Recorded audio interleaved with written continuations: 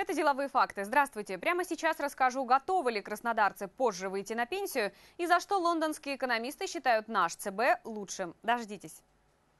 Пенсия года. Правительство собирается отсрочить выход россиян на заслуженный отдых. Однако на этот раз, уверены эксперты, бюджет слишком нуждается в деньгах и перенести принятие неудобного решения не получится.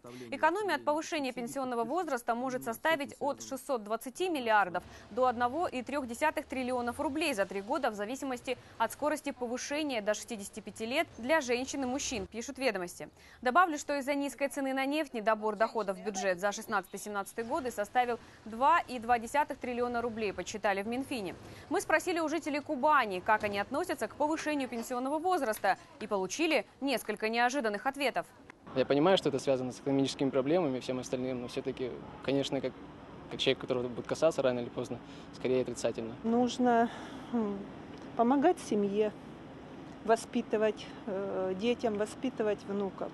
И поэтому я за понижение. Нельзя повышать. Ни в коем случае нельзя. Почему? Потому что пенсионеры уже до такой степени достали. Настало то время, что повышать все возраст надо, с демографией в том числе. Пенсионеры самые незащищенные так у нас слои населения. А если это будет позже выходить на пенсию, то не, не, ну, это типа хуже гораздо. И вообще хотелось дожить бы до пенсионного возраста. А то что-то редкость какая-то стала. Не будем поднимать, и мы в старости ничего не будем получать а жить-то хочется как-то достойно. Поэтому я, в принципе, за.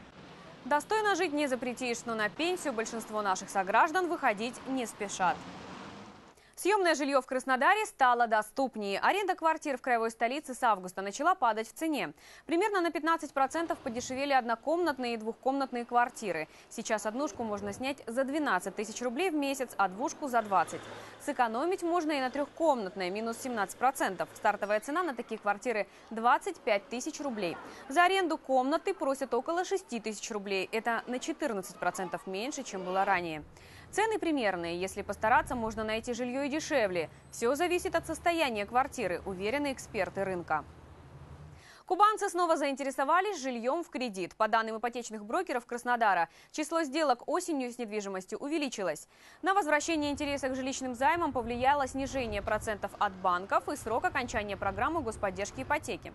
Напомню, действует она до 31 декабря 2015 года, а средняя ставка по ней сейчас составляет 10,9%. Отдельные категории граждан, например, те, кто приобретает дом по программе «Жилье для российской семьи», могут рассчитывать на более низкий процент.